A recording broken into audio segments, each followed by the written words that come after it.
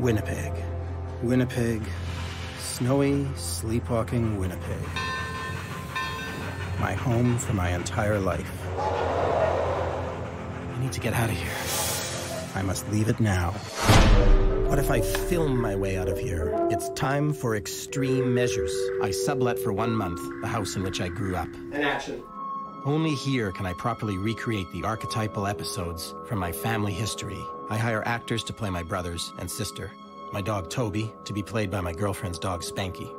It's time to get to work. Mother, I had an accident. I ran into a deer. What were you doing out there? A track team party. Where did it happen? In the back seat? Where did what happened? The real party. My mother. As perennial as the winter, as ancient as the bison, a magnetic pole, a direction from which I can't turn for long. An action. You have to feed us. My cooking days are over. We brought the parakeet with us. I'll call him off if you get up and make us some meatloaf. Right now. Once this filmed reenactment is complete, I can free myself from the heinous power of family and city and escape once and for all.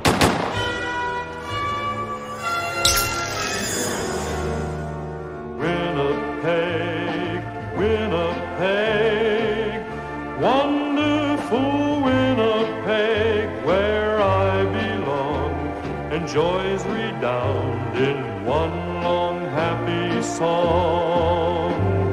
Here are friends and kindly faces, folks I'm glad to know.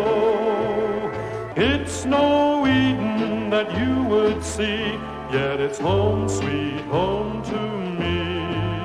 After a lifetime of many botched attempts, this time I'm leaving for good. Again.